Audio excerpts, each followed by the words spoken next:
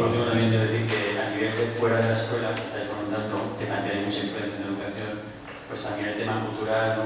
bueno, con YouTube, etcétera, ¿no? hay mucha influencia, pues también es una, también se puede transformar y hacer canales de YouTube Claro. ecosociales o Claro, sí, sí. que es uno de, los- de los objetivos que yo tengo como actor y tal. Mm. Y-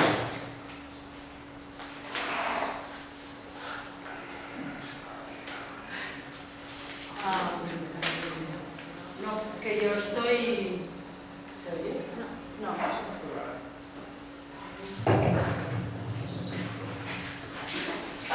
Yo estoy muy interesada en el tema de, bueno, de lo que es la violencia hacia las mujeres.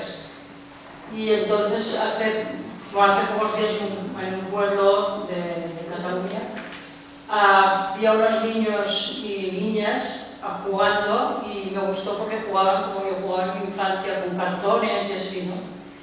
Y, y- y vi lo, lo que yo había vivido en, en mi casa con mis hermanos, tengo cinco hermanos delante mío y después vienen las chicas, ¿no? Y siempre de pequeños estas peleas entre niños y niñas, que no te dejo una cabaña, una, cabaña, una casita, no te dejo jugar y tal. Y empecé a hablar con los niños, pues estaban peleando, lo típico, los niños dando patadas a los cartones de las niñas. Y bueno, les, les, les estuve hablando sobre esto en mi caso porque no sé, pensaban que lo estaba riñendo. Entonces me, bueno, me planteé que, digo, es que parece que en el siglo XXI esto ya no tendría que pasar. Y digo, es que esta es la educación que tendría que recibir desde casa de los padres, además si están las madres, los padres viendo cómo juegan, pues ir allí, bueno, después la escuela. Y bueno, pienso que la escuela se, se tendría que trabajar esto y que no se peleen y pienso que por lo que se ha explicado en nuestras escuelas esto quiero pensar que no pasa. Después... Estaría. Bueno, es normal porque es- somos seres humanos, no es normal, tampoco sería bueno que no se pelearan, pero bueno. Después también me ha venido a la mente el tema del bullying, que yo como maestra, mm, bueno, se me, me- se me hacen se me hace difícil, es que en castellano explicarlo, a pensar de que bueno, que, que yo estuviera en un centro educativo es que esto es fácil de, de- de trabajarlo. Tengo la sensación de que, que no se hace nada en los centros escolares sobre este tema. Después... ah, sí, sobre... Bueno, por un punto que he leído, desigualdad de género, si me puedes explicar un poco qué es. Porque- y. Ah, sí, bueno, ya lo, los- lo has explicado, te lo pregunto, no, si lo habías, habíais extendido a otras escuelas. Y. Em, bueno, antes de nada, también quería aclarar una cosa, porque parece como que, ¿no? Yo, yo digo, quien, es- quien me escuche parece como que nuestros centros son... Disculpa, es que en un chat ya me gustaría comprar el disco. Eh, Lo siento. pues, eh, no sé. ¿Cuánto cuesta? Está, está en la portada, o sea, en la primera página. Está 13 euros. Si lo tienes justo, lo dejas por ahí, si no... Tengo. Vale, guay, gracias. Muchas gracias. Eh, ¿Qué iba a decir? Sí, ah, como que, que antes de, de responder, como aclarar, pues que el profesorado que hay en nuestros centros pues es un reflejo de la sociedad en la que vivimos, quiere decir que es un profesorado diverso, que no todo el mundo eh, comparte esto al 100%, que está habiendo ¿no? todo un esfuerzo por formar y sensibilizar y que tenemos un montón de problemas en nuestros coles como, como en muchos otros, ¿no? Eso también como para, para aclarar y que muchas de las cosas que cuento, todo lo que cuento es real, pero no todo está súper extendido, ¿no? O sea, como que parece que, que en el cole a lo mejor sí que hay cosas que, que hemos implementado en todas las aulas, y es así, por ejemplo, ese currículum se va a implementar en todas las aulas y los materiales didácticos se van a utilizar en todas las aulas clases y en todas las asignaturas, pero hay otras cosas pues, que también varían un poco pues, en función de que si el profe está más sensibilizado o menos, ¿no? Pues como, como en cualquier otra escuela. En este sentido, con, con las cuestiones de género,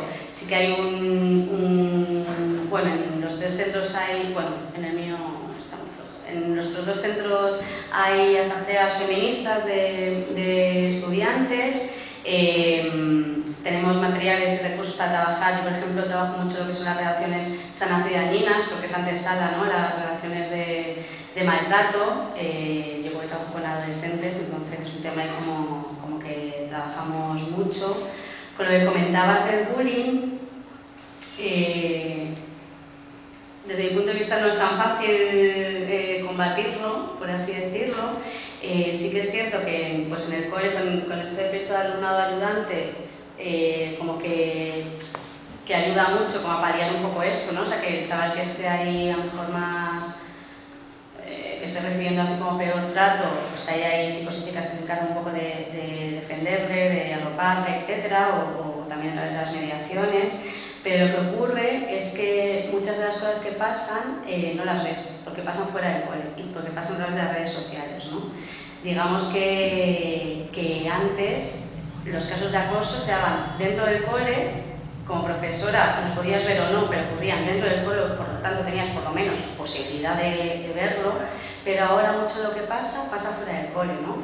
Eh, hace un tiempo llegué a las 8 de la mañana a clase estaba el padre de una alumna con sus dos hijos mayores queriéndole partir la cara a todos los chavales que estaban ahí en la puerta antes de entrar al instituto porque desde que salió su hija del cole, del instituto, el día antes hasta ese momento había recibido todo tipo de, bueno, de burradas a través de WhatsApp y eso yo no puedo enterarme porque ha pasado cuando yo he salido del cole ¿no? y cuando llego para entrar a trabajar me encuentro ese panorama. ¿no? O sea, bueno, como, como ejemplo de que, de que es un poco más complejo. Incluso también ahora pasa que si alguien ha recibido un acoso escolar fuerte y se cambia de centro, muchas veces le persigue a través de las redes sociales ese acoso. ¿no? Entonces, bueno, como que creo que es una realidad así compleja.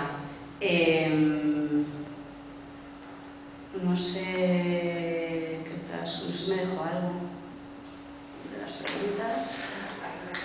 Algo no si lo había, no, si lo habíais extendido vuestra experiencia de otras escuelas. Bueno, hasta lo que Ah, comentaba sí. antes, ¿no? Estamos intentando hacer difusión lo que podemos. Mm. ¿Y qué era desigualdad de género?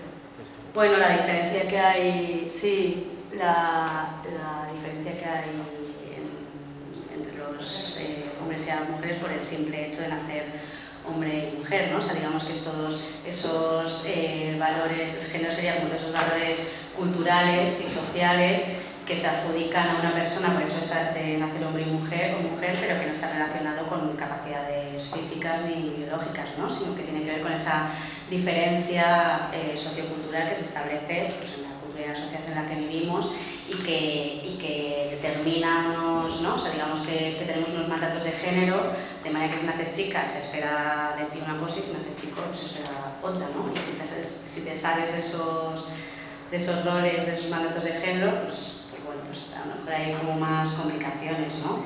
También hablamos de, de desigualdad de género cuando hablamos del, del injusto reparto que hay con respecto a los cuidados, ¿no? Entre, entre hombres y mujeres, por, extenderme ahora mucho más con esto, pero hacía referencia a eso.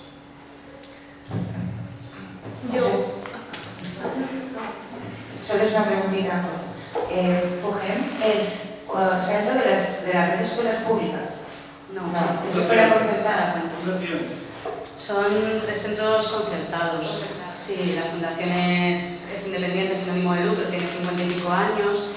Y, y sí es verdad que, pues que hace 50 y pico años son todos centros laicos. Bueno, ahora nos han denunciado y hemos tenido que ofrecer religión, pero bueno, eh, durante 50 años han sido todos centros laicos. eh, eh, bueno, pues con, con metodologías como activas y, y bastante progres. Claro, en- en- hace 52 años, pues digamos que era como, ¿no? O sea, como un- una apuesta así bastante, bastante radical. En 52 años pues han pasado muchas cosas, ¿no? también hay muchas transformaciones. De hecho, antes había muchos otros cores que se conocían y ahora se han quedado en, en estos tres. Bueno. Una pregunta,